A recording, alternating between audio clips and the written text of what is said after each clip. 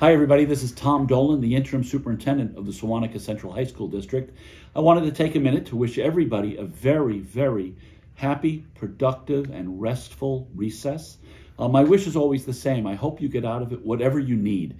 Uh, if that's rest, if that's some time to attend to tasks, family time, religious ceremonies, whatever it is, I hope that you can enjoy that and, and, and that the recess is good to you.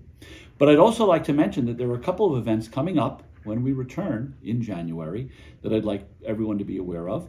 The first one is student scheduling, and I ask parents and students alike to be diligent in paying attention to the courses that they choose for the following year. Uh, it's really important in terms of both your transcript and our planning. Please be involved, uh, work with your counselors, students, parents, pay attention, work with your kids, know what's going on, and uh, I know that you can be a tremendous assist to them. But the other activity that's going on, which is associated with that, is we do begin our budget season. And I'd like to extend an invitation to the entire Sewanhaka Central High School District community to become involved in that process. We will be having board meetings. You'll find those on the district calendar. And I hope that we will be able to have an interactive process where we can build a budget that the board will eventually adopt and that the community will support on May 21st. It's an exciting activity. It's uh, an invigorating one, and I would really welcome everyone's involvement. I look forward to that.